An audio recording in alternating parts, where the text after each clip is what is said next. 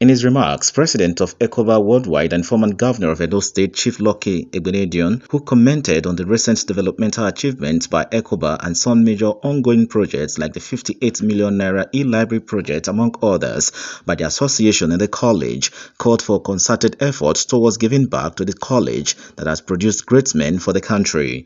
Chief Lucky Igbinedion said there is need for a conducive learning environment for their alma mater. He also appealed to the federal government to continue to dialogue with the ASUU to suspend their prolonged industrial action that has kept students home for over seven months now. I'd like to encourage all Ecobites worldwide to continue to contribute towards the upliftment of Edo College. You know, that is where we started life from, so it's also proper that we should not forget our root and keep on giving back.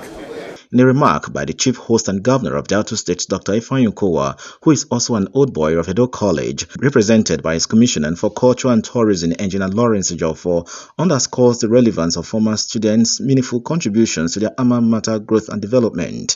He reiterated his commitment to the development of his alma mater. Earlier in a welcome address, Chairman ECOBA Asaba Branch, Dr. Monde Omorio Sarekwe, said the program is to commemorate the college at 85 years on its milestone, stressing that the national leadership is planning for its commemoration and celebration later in the year in Benin City. The way he takes his I will take the message back to him. Uh, the French is quite peculiar because we are using the program to launch an appeal from West our Secretariat building in Asaba.